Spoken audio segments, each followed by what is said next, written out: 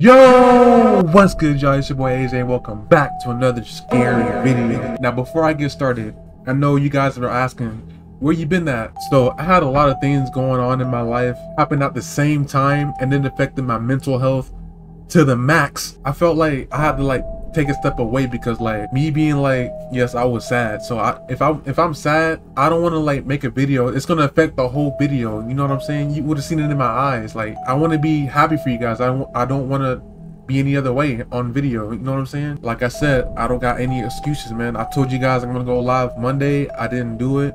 I'm so sorry. So everything is past me now. So everything is like everything's good now. So you guys are still getting a live stream on Monday. I promise you that. Even if something happens on Monday, I'm still going to go live for you guys, okay?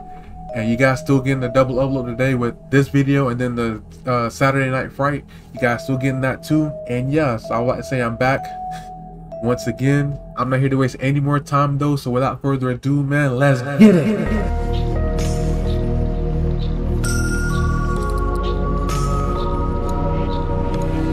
Hope you guys understand. Mental health is something you do not play with at all. That's no joke. But I'm good, I'm back, and I'm better, so. A few months ago, a woman named Rosanna bought an old apartment somewhere in France and moved in with her two very young children and her 13 year old cat, Loli. Almost immediately after moving into the new place, her cat begins to act very strangely. Oh. What do Loli see? Yeah.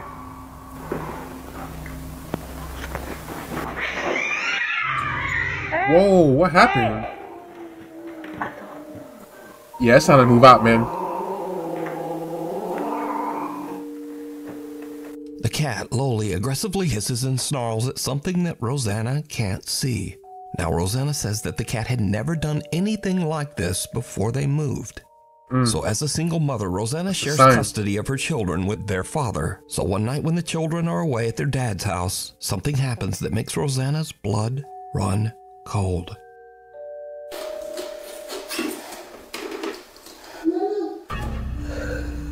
Oh, that room is dark as free. Don't go in there. Nah. I would have closed the door so fast.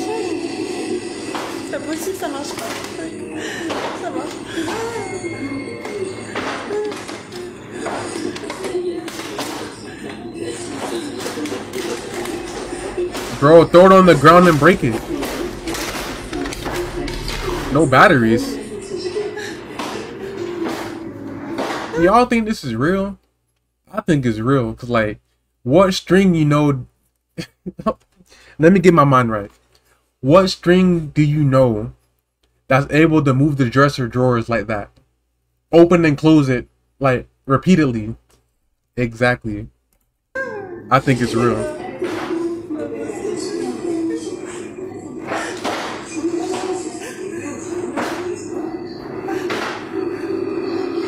Yo, you better leave. Get out of that room.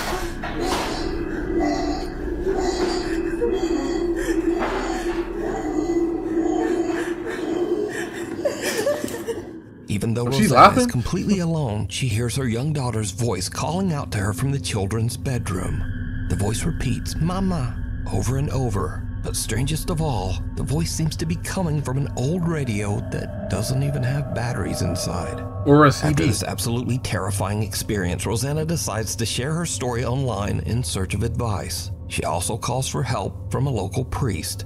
The scared mother is now desperate to try absolutely anything to get rid of the sinister entity that seems to be haunting her home. But nothing seems to help. In fact, it just gets much, much worse. Really? What is that? That's a mannequin head.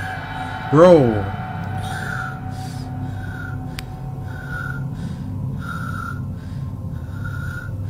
I always thought those were really creepy. They're the same thing like dolls. It's following her around. Nah. It's literally tracking her. Look at that. Why, eyes wide open.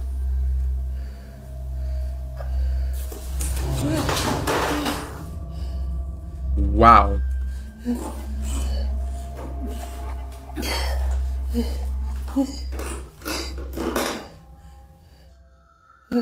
Arrête. It said no. It's over. The head But no, that's crazy, though. mannequin that Rosanna has had for years moves on its own and seems to follow her with its eyes as she moves around the room. Rosanna feels that the apartment is no longer safe for her children and decides to stay in the home all alone. All alone. Eventually, she becomes so scared that she starts to only sleep in the apartment's living room.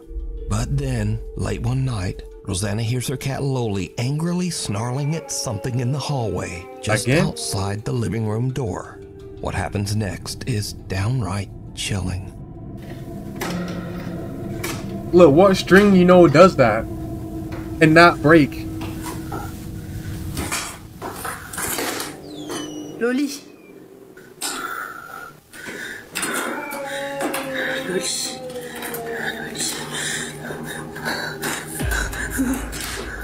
Oh. That was all of a sudden. Going towards it? Couldn't be me.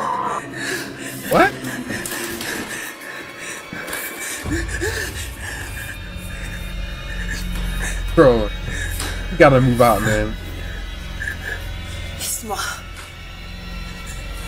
Loli. Where did Loli go? Oui, Loli.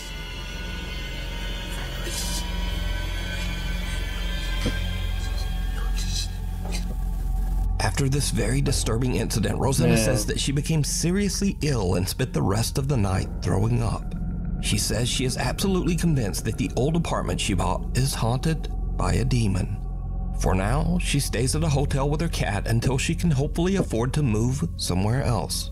She says she's currently seeking legal action against the people who sold her that apartment. I would have did the same thing too. thing Look, in the if you know it's haunted, why sell it? You want to make a quick buck so bad, but you don't care about the safety of your tenants. Like, bro, come on, bro.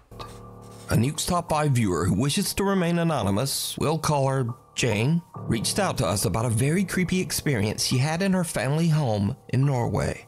So while Jane is in the basement grabbing some tools for her brother, she hears something that puts her on edge.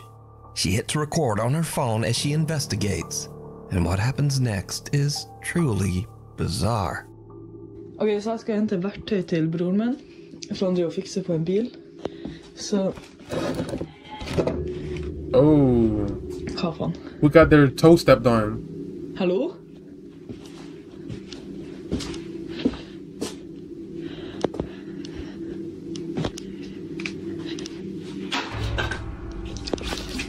Yeah, you're not alone. Oh my god, oh my god.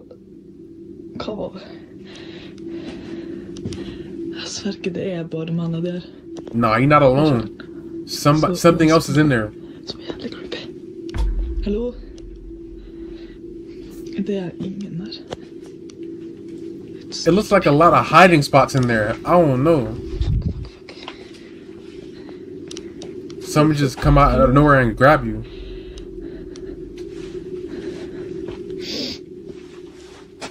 Ok. Ja. Hva? Yeah, um, that's definitely not creepy. Hallo?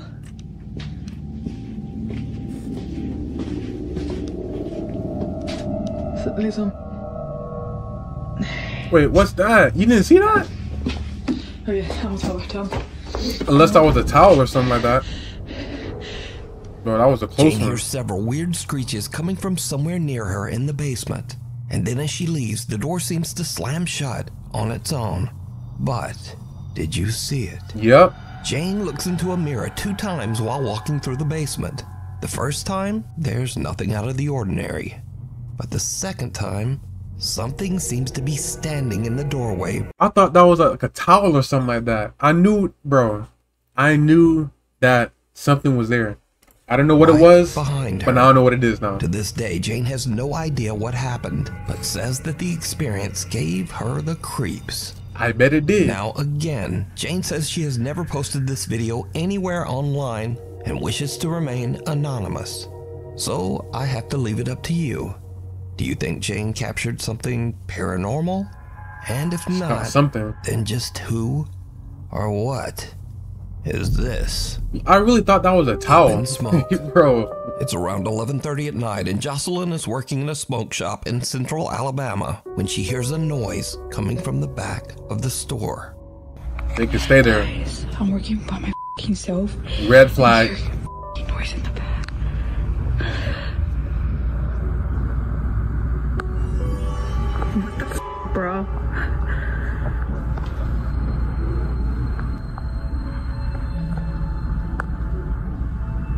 What am I looking at?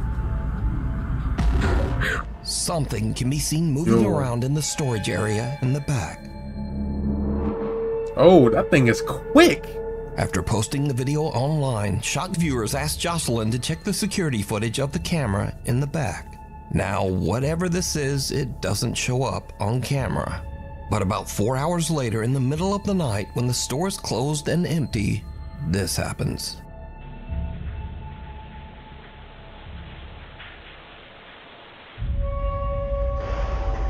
Dang, I just know that was loud, man.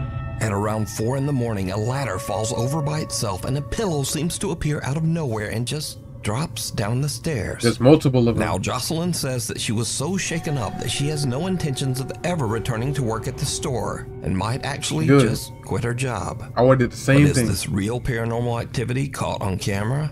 yes. Or is it all just an elaborate hoax? I think it's real. You decide. You guys think it's real? Let me know in the comments below. comfort.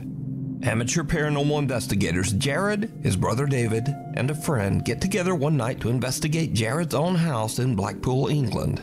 You see, Jared claims that he has experienced some creepy, Yo, what kind of shirt do you have on, my guy? Like, bro, you're diabolical for that, man. events in the house. So Jared's brother David is holding an SLS camera with built-in night vision when he walks through the downstairs area to see if the camera maps out any strange figures. But then something happens that absolutely freaks out everyone. using the uh, night vision camera on the SLS, uh, so that's why they're still behind me, because we don't want to keep mapping them. Exactly. We want to see what we can map ourselves.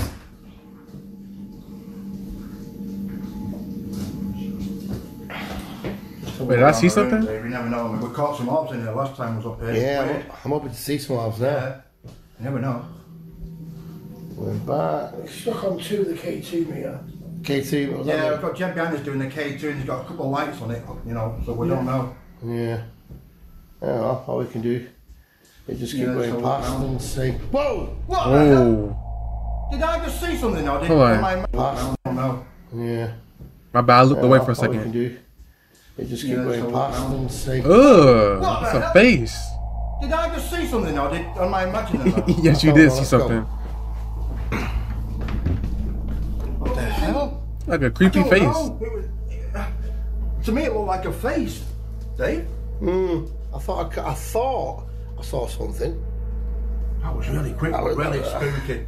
As David pans around the living room, he captures what appears to be a bizarre pale face peeking Hmm. out from behind the door to the hallway.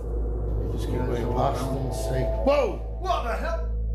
The group looks through the house and even attempts to debunk what they just saw, but they can find no explanation as to what this is. That is so creepy, man.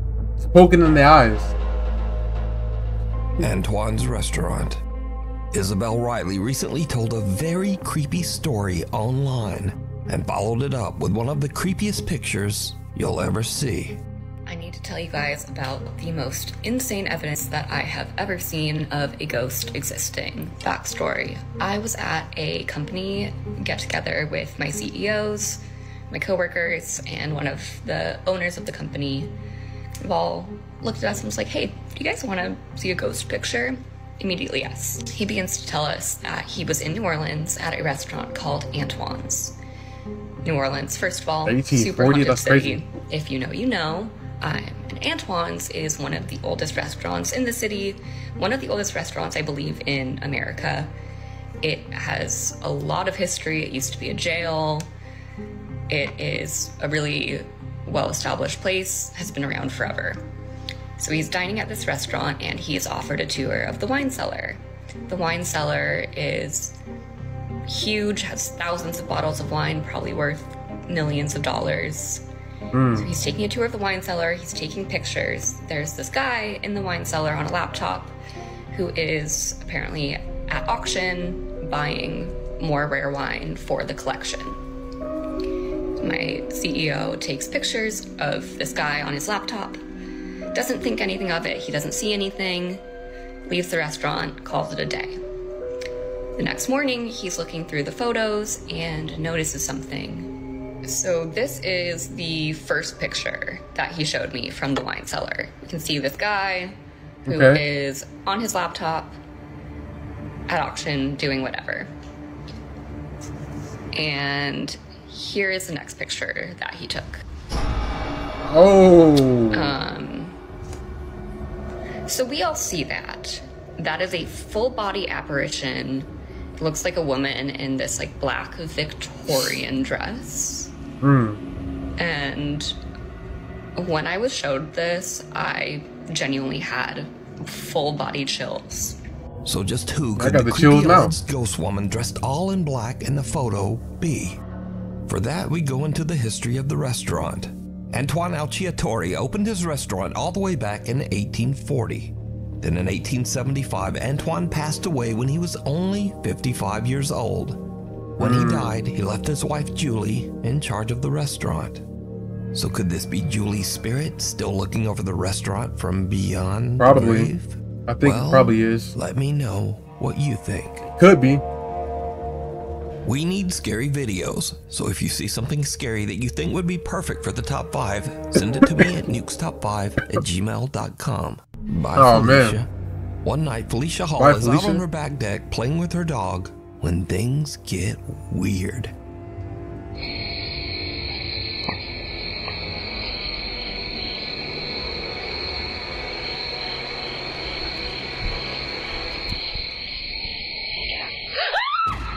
Whoa, what happened?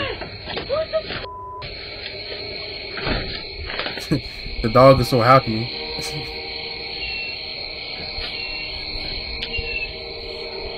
Out of nowhere, Felicia hears something that sounds like someone whispering right in her ear.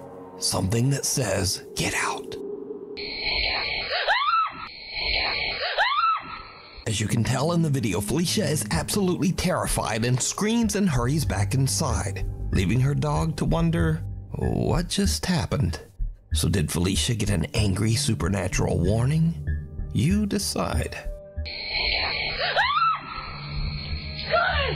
I mean, based off her reaction, I think is real. Revenants and renovations.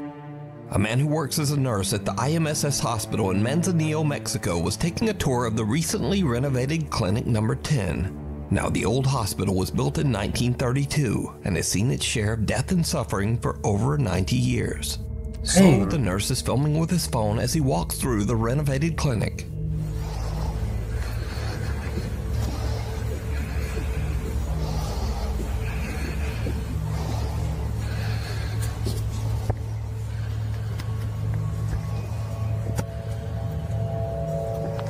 Oh, you don't see that? Wait, was that nothing? Later, when he reviews Bro. footage of the That's something. Hold on. Bro, what is that? What is that? Like, it looked like a face. I don't Later, know. when he reviews his footage of the old hospital, he spots something that sends a chill down his spine. Something resembling Yes, a I was small, talking about that. face can be seen peeking around the corner in clinic number 10. The hmm. man is shocked. They need he help. says that he never noticed this strange face while filming. The man's aunt posted his video to the internet, and many viewers believe that he might have captured the spirit of a patient who passed away at the old hospital. Unearthed. This next help. creepy story has been going viral and actually made international news. So, TikTok user Katie Santry from Columbus, Ohio woke up one morning to find that things in her home office seem to have been mysteriously moved around. I think my house is haunted and I'm freaking out. Like I'm literally shaking. This is my sunroom. This is where I work. I sit here every day. There's a playroom here, doors here. This is the space.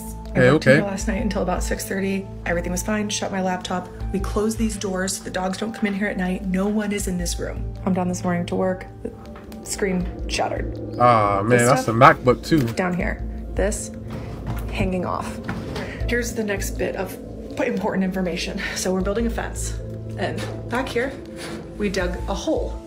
There is a rolled up carpet buried underground that we came Really? across as we were digging this hole. Rolled up carpet. Who the f- and why the f- is there a rolled up carpet underground? Katie shares her strange story online. Hey, Shawty, somebody live with y'all, man. Somebody y'all don't know is living with y'all. and viewers suggest that there just might be something more buried in the yard. Inside Or they was that living with y'all. rug. How deep is that? Like at least two feet? Almost, yeah. Oh, right now. At the intense urging of thousands of video commenters, Katie decides to call the police to check out the rug. Mm, Just in case.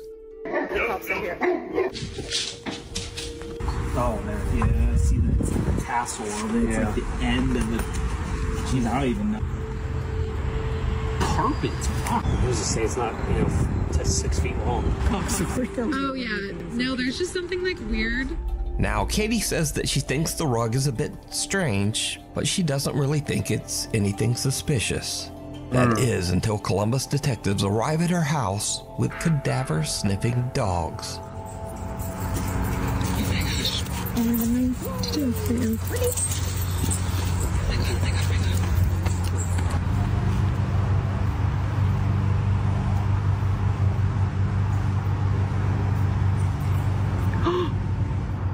Uh, hooped in there.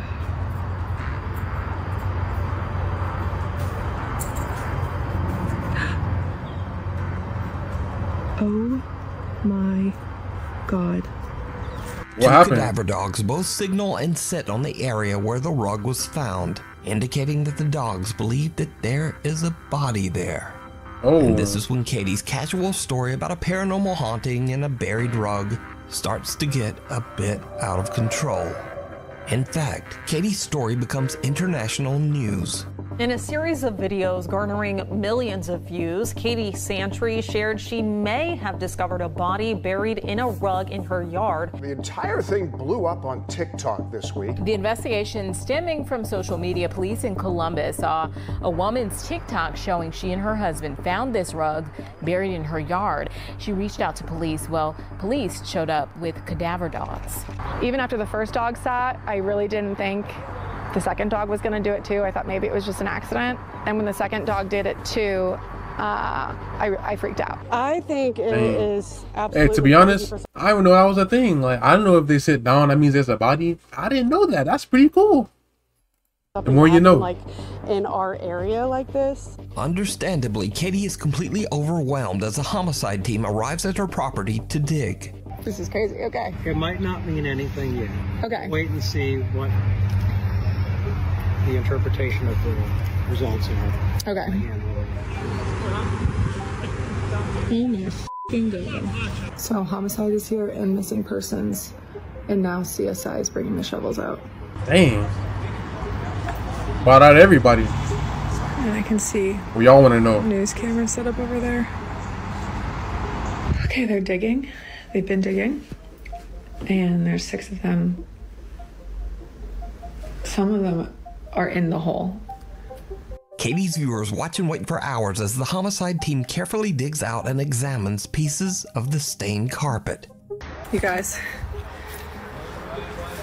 they have recovered the hole, and this has been the most absurd, insane experience of my life. What did they find? No, they didn't find a body. They found a mother effing rug with some rubber.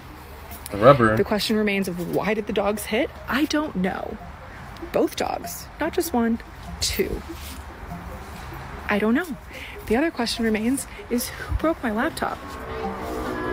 So, I don't Katie is happy with the news that the Columbus homicide team has not found anything suspicious buried with the rug.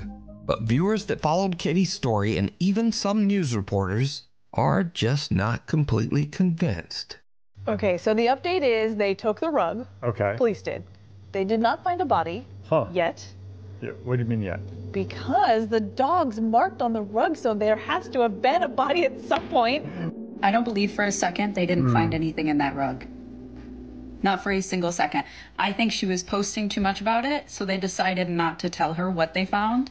Or because they took it away for forensics, it was a mirror on the rug, no body. I don't believe for a second there was nothing on that rug. So, even though police say the rug was fine, there's still some skepticism and some outright conspiracy theories about that rug. But what do you think? At this point, I don't know, man. Matty Magarachi says that his house in Monroe Township, New Jersey is very haunted. In fact, Matty has been posting about the strange activity in his home for over four years. One night, Matty is home alone with his dogs when strange things start to happen. What's going on?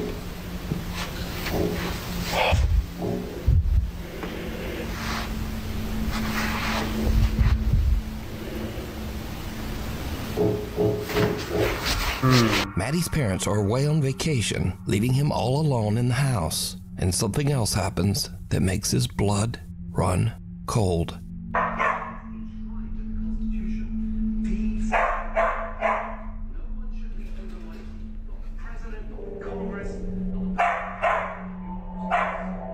It's in an attic? Nah, it can't be in the attic. oh, is that? was that a mask? What the f was that? Yo. So these are just a couple of the many videos that Maddie has shared online over the last four years. So could it be that Maddie's house is actually haunted by something? Or is it all I don't know. just a very elaborate hoax? You decide. I feel like this one could be either or. It could be real or fake. That's that's that's how I'm feeling. But uh hopefully you guys enjoyed this video, man. Please smack the like button, subscribe today to join the AA, and I'll see you guys next time. Peace.